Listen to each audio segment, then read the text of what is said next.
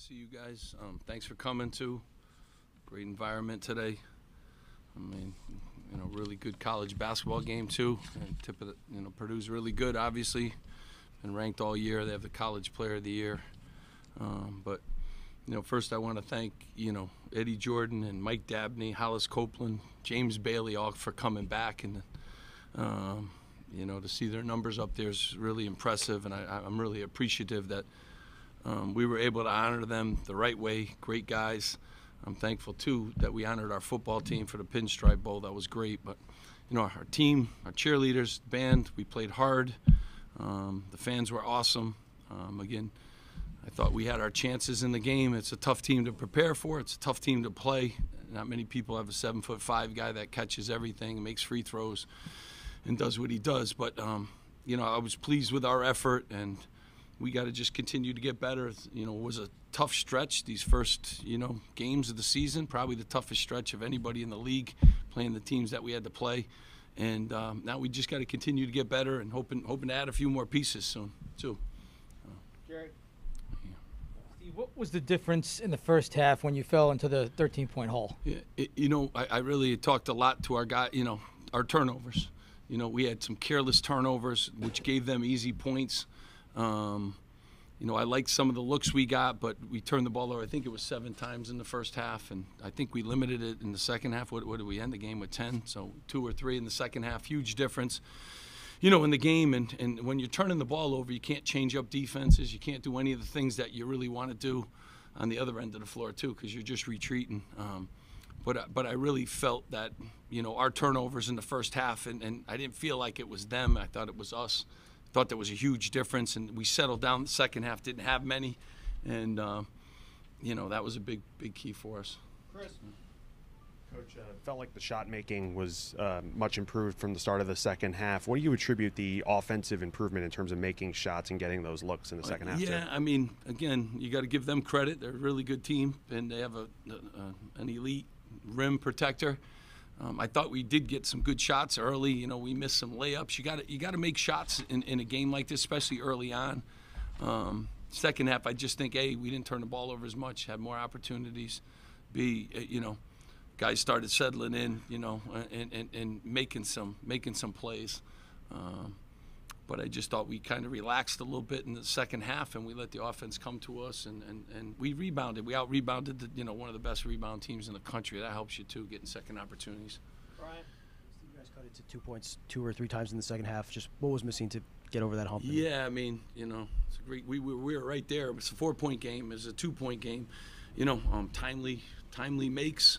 Um, I did think we, you know, executed and got some good looks, and you know, just just couldn't kind of, you know, get over over the hill. And then they came down the other end. Like I always say, there's two parts of it. Like we can stop them too, but they, they got timely baskets and ones, a couple fouls on Zach Edey.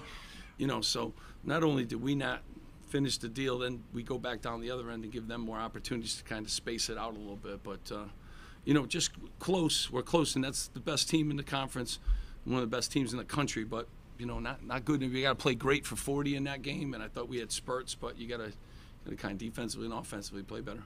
Eddie in the middle. Coach Gavin and Jamichael were instrumental down the stretch, helping bring you guys back. What have you seen in the growth from those two freshmen this year? I, I will tell you, I mean, they're both young, and, and I'm proud of Gavin. I said this to these guys afterwards. You know, it hasn't been as easy. Um, he, he had a great week of practice. I mean, and the guys will tell you that too. He had a fantastic week of practice. He really focused, and it showed today in, in the game.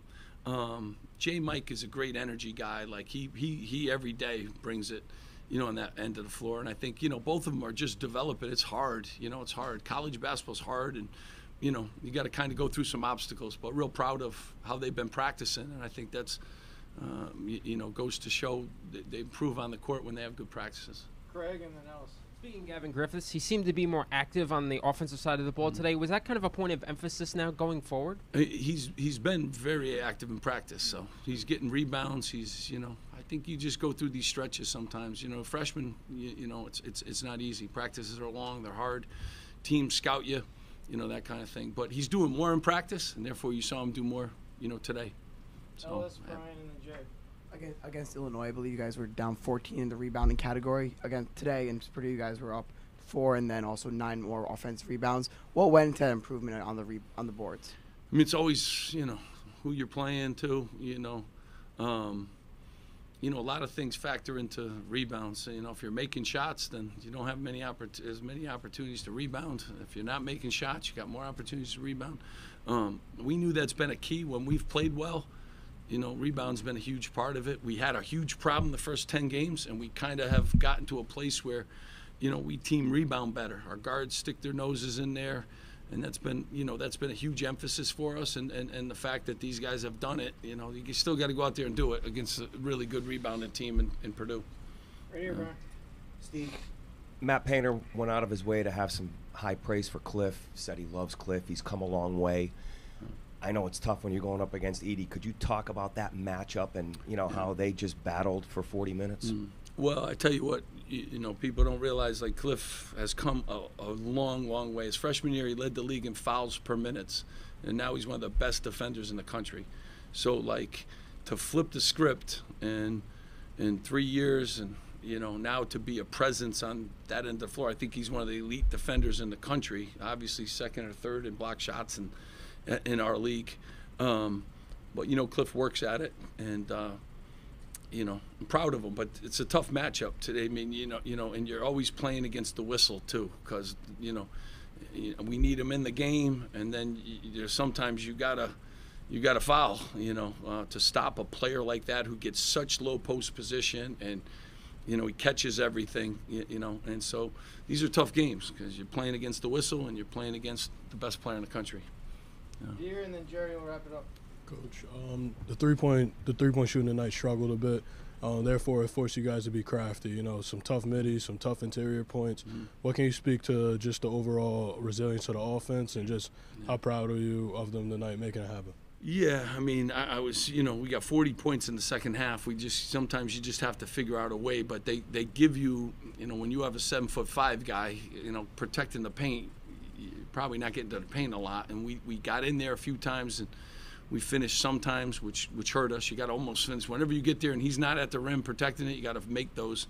Um, but you also got to make some mid-range stuff too, and you need some threes too, because that's kind of what they allow you, you know, to, to do. But, you know, I thought we were played with a better rhythm in the second half, with or off. A lot of guys got touches, and, you know, um, obviously it helps when you got some points coming off the bench too. It really, really helps you. Last one, Jerry. Just to follow up about your freshman, Steve, what do you hope that Jay, Mike and Gavin can gain going forward from, from playing 42 minutes and more or less holding their own against a team like this, an environment like this? Well, I mean, hopefully, you know, gives us all confidence. Like, you know, that's a really good basketball team that obviously is going to play, you know, um, you know, for a long time. I think in in, in the tournament and, and everywhere else. Um, and you're playing against the best player in the league. They got very experienced players too around them. I think the guy they got in the portal, Jones, is really really good, and he's a very experienced basketball player to go around.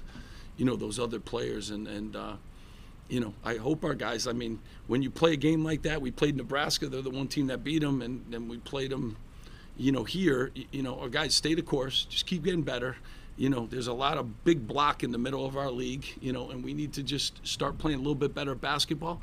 Keep guys healthy. Get two new additions hopefully soon, and and and see what happens. You know, down the stretch. But these guys are good captains. They stay the course. They're going to continue to lead us, and. Uh, you know, keep fighting and thankful for the crowd. Like the crowd keeps coming, they help us, and, and very appreciative of that.